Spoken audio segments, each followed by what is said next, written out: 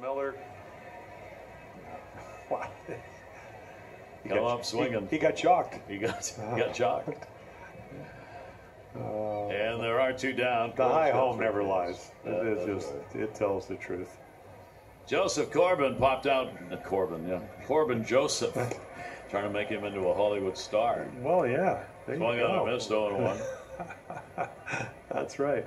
That Yeah. comment will be clipped by his brother and replayed His for older, numerous his older times. brother. I His said, older "You guys brother. get along?" He said, "Well, we used to play roller hockey, you know, down at, outside of Nashville." And he said, "Every time my mom would be looking, uh, you, you know, Gail would be real nice to me, and then when she wasn't, he'd just kind of whack me with a stick and all that. And of course, I would, I would hit him back, and then my mom would see me. It would be my fault. There you go. I go. "There Isn't that go." the secret? So I guess you guys got along. Caleb really liked that relationship.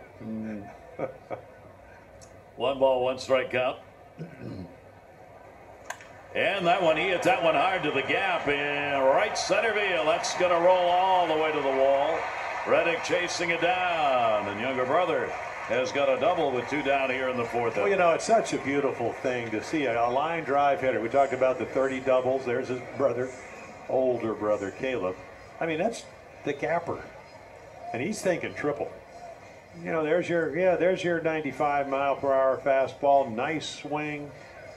Boy, just gets on top of it. And I mean, drills it up the gap. Boy, when you're on the mound, you know, you just, okay, we're going to kind of get over there towards third in case there's a play at third. But it, that's exactly what you want with two outs. Now you need to get a base hit. Wilkerson flied to left first time up for Corban Joseph.